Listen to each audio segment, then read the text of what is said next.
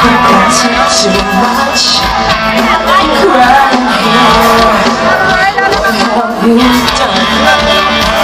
I can't move